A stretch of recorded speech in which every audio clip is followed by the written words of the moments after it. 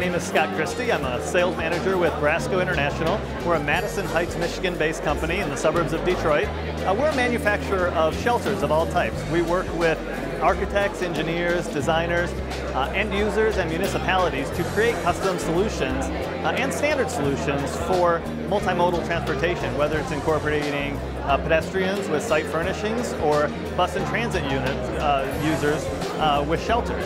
Uh, we work with the end user to create a solution that will incorporate all those modes of transportation, and we do it all in Michigan. we work primarily out of aluminum, which is a great product for longevity, and we do everything in-house from the design and engineering to the construction uh, to the final installation. We work across the United States, uh, but we're proud to be a Michigan-based company.